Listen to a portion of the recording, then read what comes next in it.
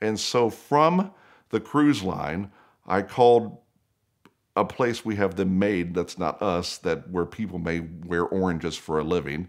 And the lady actually had them done, and we overnighted them to Ed.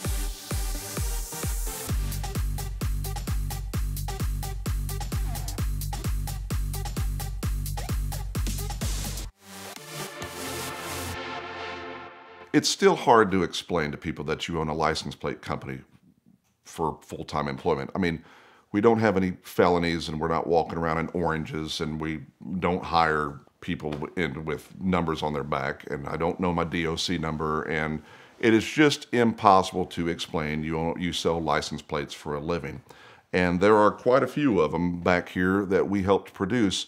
Alex, the valet guy, he always comes back and tells some incredible stories. So here's an update. We we did a story about how we sold plates to Iron Man. And being in this license plate business and learning the fonts and the different things, I never thought we were going to be those these people. But now Hollywood would come and call us for things. There's a, uh, a show on Paramount Plus called The Mayor of Kingstown or something like that. And they had a prison scene and they needed a bunch of license plates. So they chased us down the internet. And here we are. And we sent them 4,000 state of Michigan license plates. And we're like, oh, okay, this is cool. But then we have 4,000 back. So if you have a scene you need 4,000 Michigan license plates, please call. We have plenty of them. And then you do all kinds of things that you have to hush hush about and not tell anybody about. When we shot the new Ghostbusters, that movie was shot in 2019, but due to COVID, they didn't release it till last year. And we had to keep our mouth shut that we were the people that put the license plate on the back of the Ecto 1. And we had that plate for months and we couldn't release it to the public and we couldn't tell anybody. But then I was Ed Bolian's co driver in the musket ball. And we're out to go have a big time, and I get to drive across the country with one of my friends. And then they released Ghostbusters Afterlife, and I had to produce 2,500 Ecto 1 license plates for the premiere. So I had to surrender my seat in Ed's hot rod Hyundai or whatever, Toyota or whatever he drove. Everything's cool, and we're riding along, and we're just selling license plates for a living. But then Ed will call for a Car Trek license plate. And I'm like, yes, let's do that. And can we do it in this font? Yes, let's do that. Can we have it next week? So here's one of the craziest stories that we've ever had on how we had to get a license plate quickly to our friend Ed Bolian. And we were on the uh, High Seas Rally. I was DJing on a cruise line. And Ed wanted this amazing plate that we had come up with for Glossit and for their SEMA booth and they're about to just bring the house down with this gorgeous car, and Ed's going to go there and sign plates. You know, if you get an 8 by 10 of Michael J. Fox signed, hooray. But if you get the out of time license plate signed by him, that's pretty cool. So Ed was going to go, hey man, no, nothing better to give away at SEMA than a license plate. Let's make a Vegas plate. Well, VINwiki, it'll be exactly like that. And we had this great older design of this Vegas plate. And I'm like, cool, we can do this. So we pass the design back and forth, proof it, done. I take off and go DJ a cruise line. And Ed goes and probably buys a salvage Lamborghini.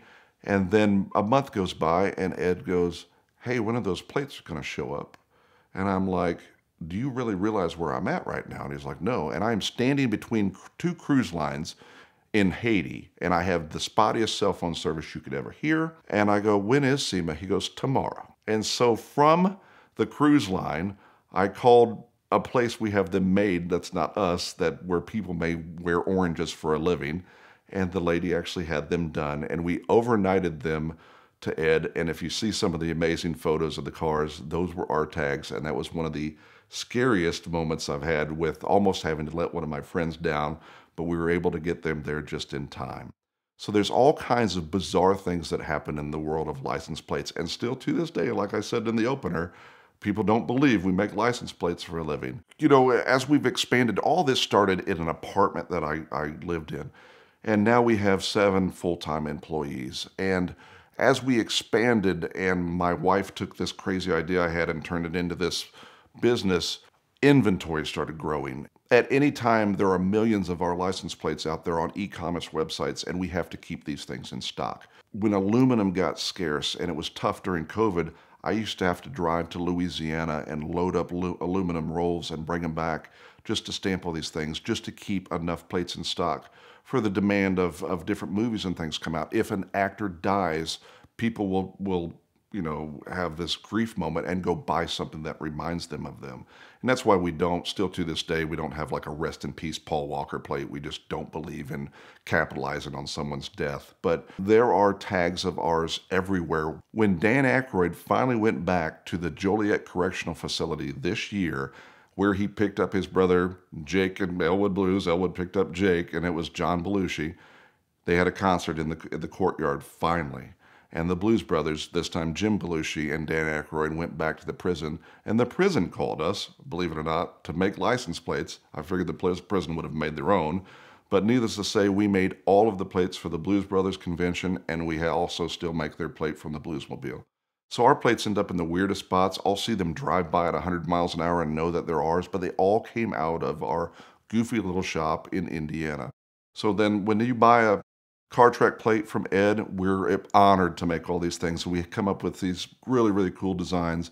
And then Rob Pitts, we do his plates. We do Arnie's plates. We do all kinds of different YouTubers' plates because everybody that doesn't allow or doesn't require a plate on the front, you know, legally, have room to put their own. So why not use one of ours? So it's been an awesome ride, and we still plan on uh, expanding and going even bigger and better. But now we're in the Petersen Auto Museum. We're in places we never thought we were going to be. But if you've ever wanted to know if someone can legally make license plates for a living and not work for six cents an hour for the state, we can.